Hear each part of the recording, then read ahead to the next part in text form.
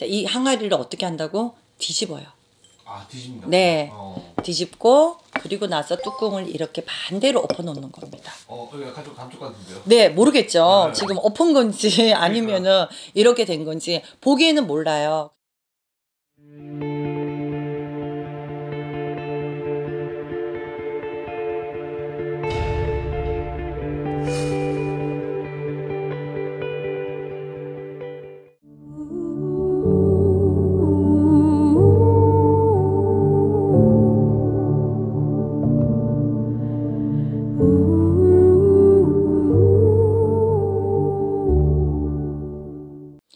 안녕하세요.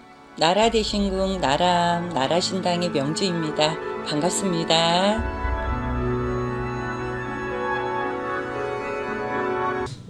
이제 나가는 돈을 이제 막는 방법에 대해서 말씀해 주시기로 하시면서 앞에 네. 뭐 항아리가 있는데 네. 항아리를 어떻게 하면 근데 너무 예쁘지 않아요? 네. 예. 근데 선- 사실 저는 조금 어, 꼭 필요할 때 말고는 뭐 돈이 막 새는 편은 아니에요. 음. 그리고 또 이제 새는 것보다는 쓰는 게 더 많은 것 같아서 쓰는 거를 새는 거라고 말하면 안 될 것 같아요. 우리 감독님은 솔직히 말해보세요. 쓰는 게 많아요? 아니면 진짜 새는 게 많을까요?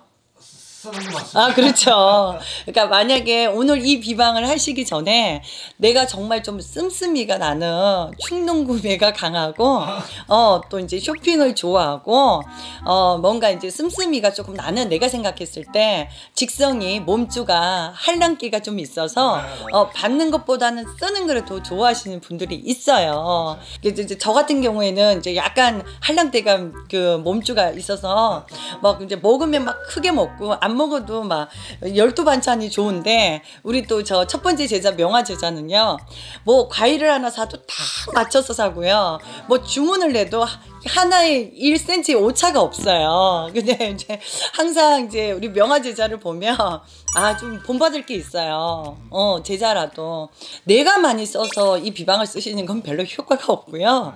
정말 진짜 나가는 돈이 많아서 어 선생님 그럼 뭐 카드값이 많은 거는 그것도 이제 만약에 여러분들이 쓰신 거라면 그것도 이제 여러분들 씀씀이가 그건 크신 거지 산 내, 어, 새는 금전은 아니란 얘기예요. 저는 이제 오늘 조금 설명을 드리기 위해 서 항아리를 좀 작은 걸 준비했는데 나는 진짜 돈이 많이 새. 일평생 살면서 내한테 쓴 거는 없지만 나한테 쓴 건 없지만 항상 나는 돈이 계속 새라고 하시는 분이면 이런 분이면 항아리를 조금 큰 거를 준비를 하시면 좋아요.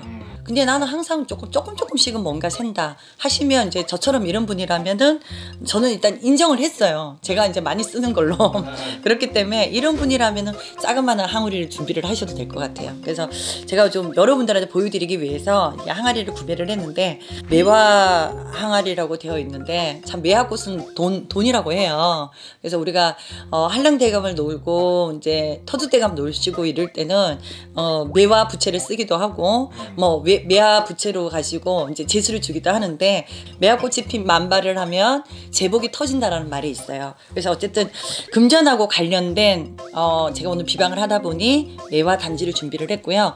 이제 항아리를 어떻게 하냐면 이거는 들어오는 입구에다가 현관에 하셔도 되고 거실에다가 하셔도 됩니다. 자, 이 항아리를 어떻게 한다고 뒤집어요.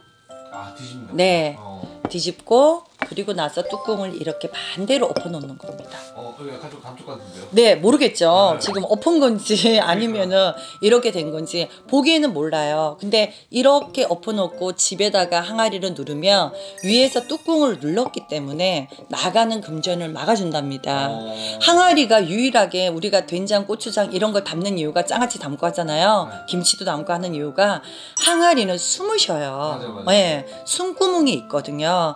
그래서 이 항아리에서 나오는 기운은 숨을 쉬고 안으로 돈을 모아주지 밖으로 새어나가게 안 한다는 거예요. 음. 만약에 입을 위쪽으로 해서 뚜껑을 덮으면 돈이 들어는 오지만 새어나간대요. 음.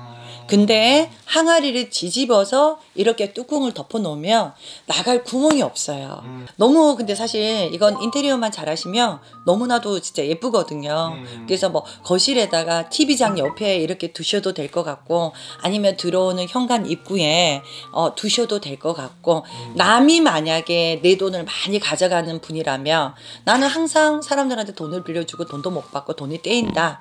뭐 나는 써보지도 못했고 돈이 새신다는 분들은 남 때문에 그런가 하면 타인 타인 때문에 그런 거면 현관에다가 두시는 게 좋겠고 음. 만약에 우리 집안 사람 때문에 그렇다. 뭐 우리 식구나 가족 때문에 그렇다. 나 때문에 그렇다 하시면 거실에다가 이렇게 두시는 게 좋을 것 같아요. 음, 또 참고로 하셔서 이 비방을 잘 따라 하셨으면 좋겠습니다. 오늘은 여기까지 할게요. 감사합니다.